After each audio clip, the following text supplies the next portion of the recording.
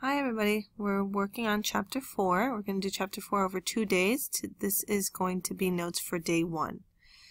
So let's look at when you are using graphs to relate two quantities. And those two quantities are called your variables. You always have an independent and a dependent variable.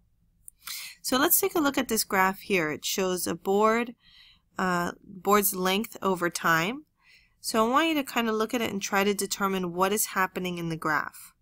Look at some of the questions. The length of the board increases, decreases with time.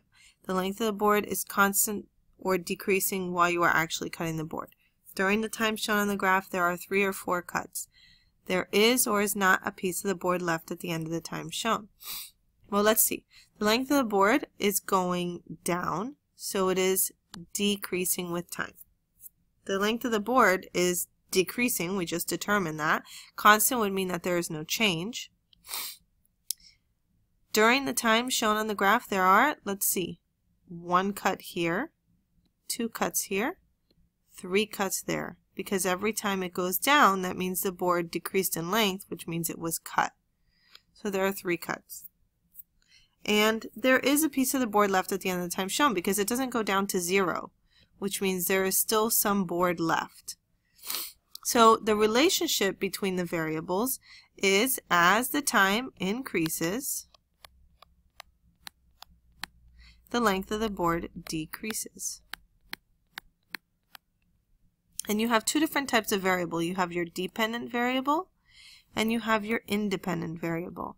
Your independent variable is, is not going to change. Time doesn't change depending on the board's length. Time stays consistent. The length of the board changes depending on time. That's why it's called the dependent variable. So your y, notice this is the y-axis, is always your dependent variable, and your x is always your independent variable. Let's look at linear and nonlinear functions. So a linear function is one who is a straight line. It's either going to be um, slanted or it's going to be horizontal, but it is never going to be vertical because if it's vertical, it's not a function. So any non-vertical line is a linear function. A nonlinear function is one that is not vertical. So notice this one has a curve, this one has a curve here, this is a V. These are all examples of nonlinear functions. Let's take a second and see if you can determine which ones of these down here are linear and nonlinear.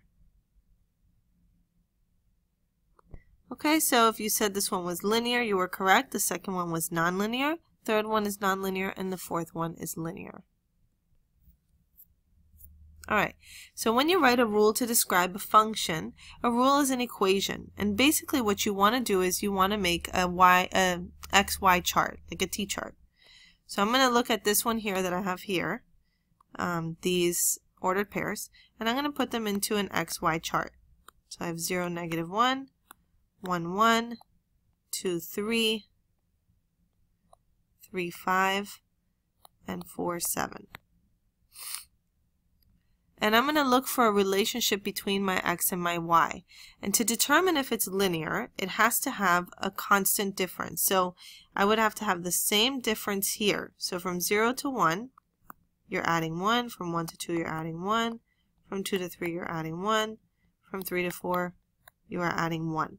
And then I would have to also have a constant difference from here to here. Let's see. Here I'm adding 2. Here I'm also adding 2. Here I'm also adding 2. And here I'm also adding 2. So this is number 1, linear. If it was not constant like that, it would not be linear. It would be nonlinear. So now that I know it's linear, I can make my equation. It's always going to be y equals. And then I'm going to put the change in the y, which is 2, over the change in the x, which is 1, x plus something.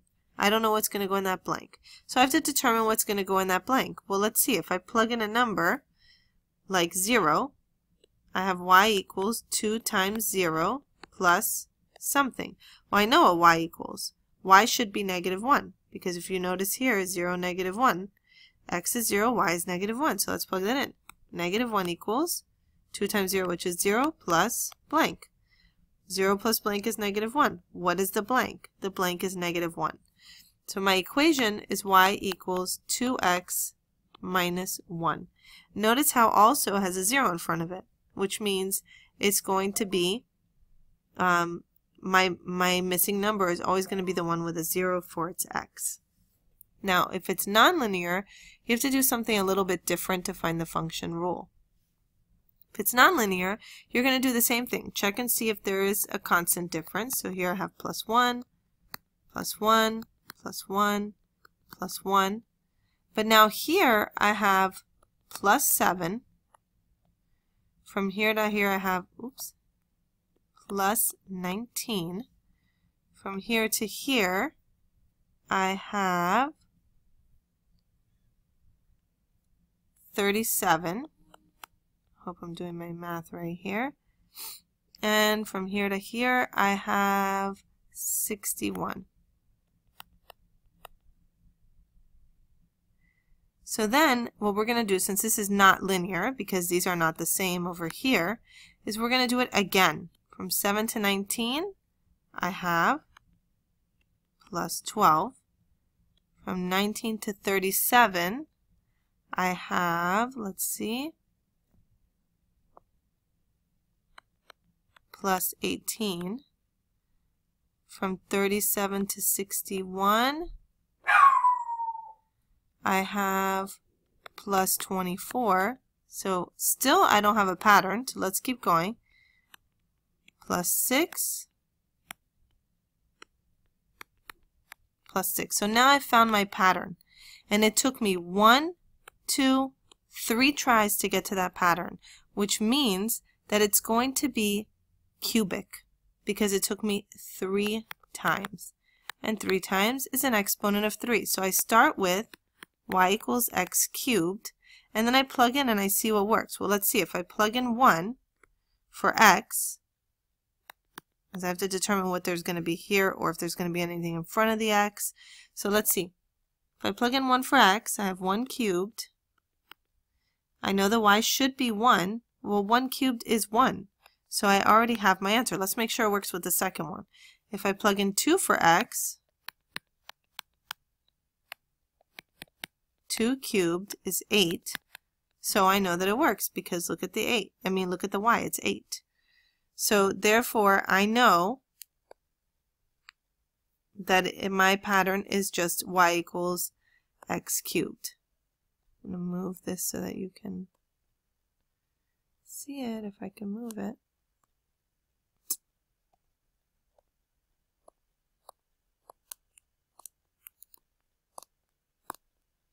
Well, in any case, it just tells you that the further you go, that's going to tell you what exponent it is. So since I went out three times, it is an exponent of 3. Alright, so here are some words that you should already kind of know. Words that suggest addition, subtraction, multiplication, division. They're kind of like keywords. And you're going to use these keywords to be able to decipher sentences and make your function rule. So if you look at the first one, it says 8 less than 1 third of x is y. Well, 8 less than, which is a word that su suggests subtraction, but less than happens to be a special word because it means that it's less than the next number. So I have to subtract 8 from that number. So it's going to be minus 8. One third of x, so one third, and of means multiplication is, which means equals, y. So less than is a special case. Uh, fewer than is a special case. More than is a special case. Anytime you see those words, you know that you're going to have to flip it because you're taking it away or you're adding it to the second number. Okay? Try doing the next problem and see how you do with it. 12 more than the quotient of a number t and 7 is v. Okay, so we have a more than, which is our special case. So we know it's a plus, but the 12 is going to be second. So 12 more than the quotient of a number t and 7. Well, quotient I know is division. So the t is written first, so it goes on top. So 12 more than the quotient of a number t and 7 is equals v. If you got that, then you did it right. Take a second, try the next one.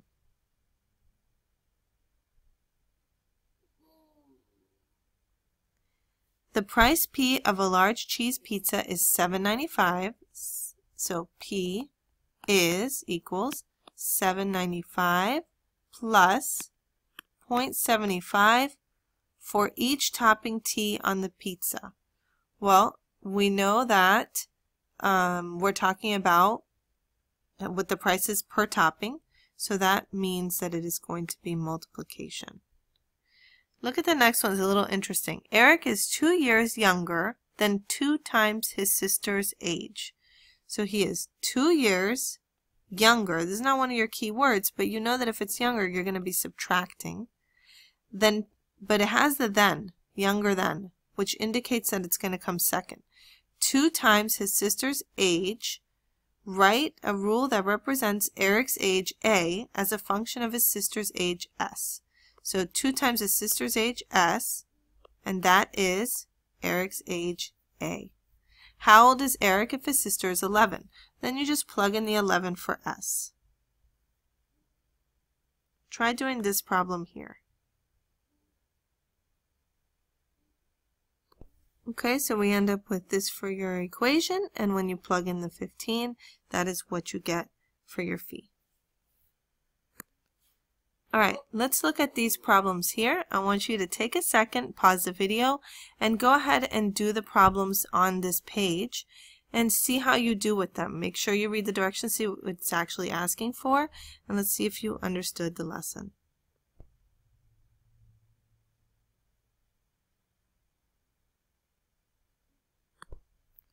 Okay, here are the answers. Go ahead and check your answers.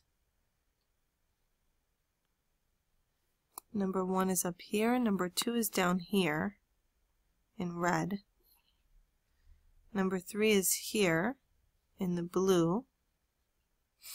Number four is here, and number five is in the green.